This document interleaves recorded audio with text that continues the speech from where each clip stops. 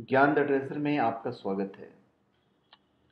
और हम आपको अपने या आपके सनातन धर्म की शादियों की रस्में और उनके वैज्ञानिक तर्क के बारे में बताएँगे कि साइंटिफिकली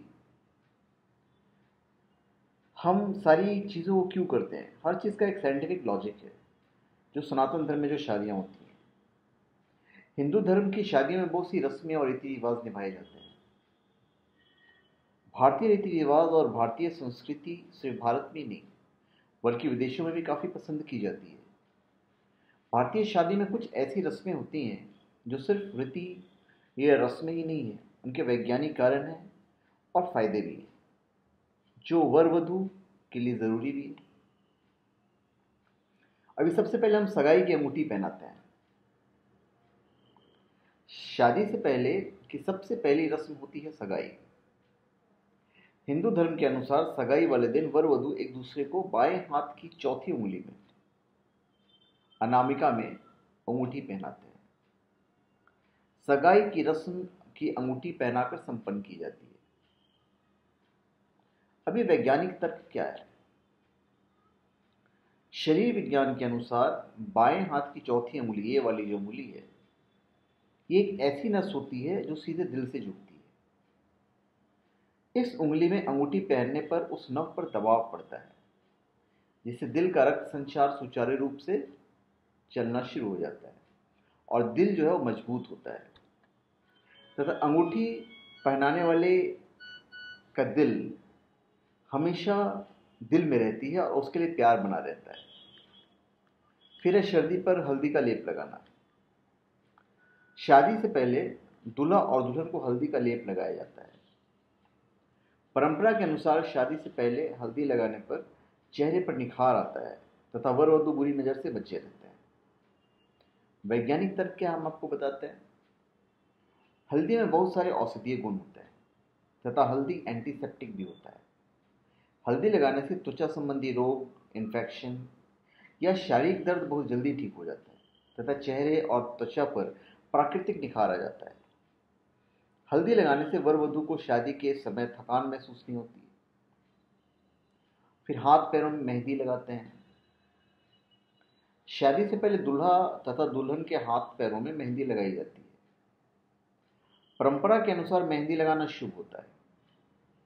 मान्यता के अनुसार हाथों में मेहंदी का रंग जितना गहरा चढ़ता है वर तथा वधु के बीच उतना ही गहरा प्यार होता है। इसलिए मेहंदी को शगुन माना गया है। अब इसका वैज्ञानिक तर्क समझिए। साइंटिफिक लॉजिक यह है कि मेहंदी में एंटीसेप्टिक गुण होते हैं।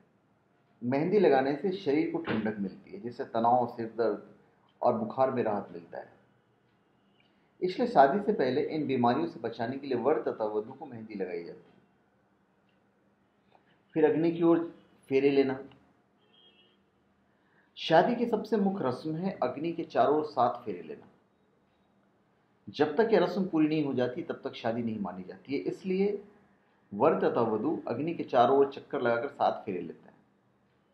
वैज्ञानिक तर्क हम आपको बताते हैं। अगली ज, अग्नि जलाने से नकारात्मक ऊर्जा दूर होती है। अग्नि में आम चंदन की लकड़ियाँ घी चावल सामग्री आदि डाली जाती हैं। जिनके जलने से आसपास का वातावरण शुद्ध होता है तथा शांति का माहौल बनता है। जिससे उपस्थित लोगों के स्वास्थ्य पर अच्छा प्रभाव पड़ता है। तथा मानसिक शांति मिलती है तथा वर वधु में सकारात्मक ऊर्जा का संचार होता है। फिर मांग में सिंदूर भरना। हिंदू धर्म के अनुसार शादी के दिन दुल्हा, दुल्हन की मांग में सिंदूर भरकर उसे अपनी पत्नी स्वीकार करता है। इसके बाद दुल्हन हमेशा अपनी मांग में सिंदूर भरती है। मांग में सिंदूर भरा होना शादीशुदा होने का प्रतीक है। इसका वैज्ञानिक तर्क हम आपको बताते हैं। शरीर विज्ञान के अनुसार मांग भरने वाली जगह पर, यानी माथे पर, ये बीच वाली जगह पर। माथे से लेकर सिर के बीच तक दिमाग की एक बहुत महत्वपूर्ण तथा संवेदनशील ग्रंथि होती है, जिसे ब्रह्मरंध्र कहते हैं। अब जब इस जगह सिंदूर लगाया जाता है तो यह औषधि का कार्य करता है, जिससे दिमाग शांत रहता है। शादी के बाद महिला पर गृहस्थी का दबाव आ जाता है, जिससे उसे तनाव, चिंता, निद्रा सिर दर्द आदि बीमारियाँ घेर लेती सिंदूर में हल्दी चूना तथा पारा होता है। पारा दिमाग को ठंडा रखता है। इसलिए मांग में सिंदूर भरा जाता है, ताकि इन बीमारियों से बचा जा सके। दूसरा कारण ये भी है कि पारी की वजह से पत्नी के मन में सेक्स की इच्छा बनी रहती है, जो शादीशुदा ज़िंदगी के लिए बहुत ज़रूरी है। और इसी वजह से कुंवारी लड़कियों तथा विधवा स्त्रियों में अपनी मांग में सिंदूर नहीं भरती भरती फिर हाथों में चूड़ियाँ पहनना। भारतीय संस्कृति के अनुसार स्त्रियों का शादी के बाद चूड़ियाँ पहनना बहुत ज़रूरी है। चूड़ियाँ सुंदरता में भी चार चाँद लगा देती है। मान्यता के अनुसार चूड़ियाँ पति के नाम की पहनी जाती है। वैज्ञानिक तर्क हम आपको बताते हैं। हाथों की कलाइयों में यहाँ और यहाँ कई एक्यूप्रेशर बिंदु होते हैं। चूड़ियों से इन बिंदु पर प्रेशर पड़ता है, जिससे ब्लड सर्कुलेशन सही रहता है, जिससे स्वास्थ्य अच्छा रहता है।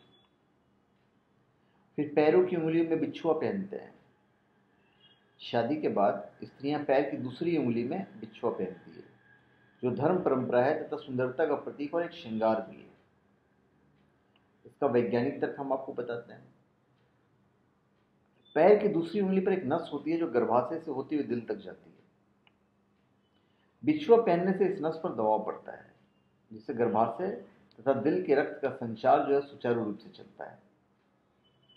जिससे गर्भाशय मज़बूत बनता है, तथा मासिक धर्म का चक्र नियमित रहता है। दूसरा कारण यह भी है कि बिछुए चांदी के होते हैं, और चांदी ऊर्जा का अच्छा स्रोत है, जो पृथ्वी से ऊर्जा ग्रहण करके स्त्रियों के शरीर में प्रवाहित करती है। तो ये थी शादी की कुछ रस्में, कुछ रीति रिवाज जिन्हें देखते हैं, जानते तो सब हैं, लेकिन इनके पीछे से असली मकसद बहुत कम लोग जानते हैं, और इसीलिए बिना इसकी वास्तविक सच्चाई जाने ही कुछ लोग इन्हें अंधविश्वास कहते हैं और इनका पालन नहीं करते हैं। जिसके कारण वे कहीं ना कहीं इनके प्राकृतिक चिकित्सीय लाभ से वंचित रह जाते हैं और बीमारियों की चपेट में आते हैं। हमारे जो पूर्वज ऋषि मुनि को आयुर्वेद, शरीर विज्ञान, प्राकृतिक चिकित्सा आदि के बारे में ज्ञान बहुत पहले हो गया था। इसीलिए उन्होंने प्राकृतिक चिकित्सीय लाभ के लिए ये रिवाज शुरू किए ताकि इनका पालन हमारे स्वास्थ्य को ठीक कर सके।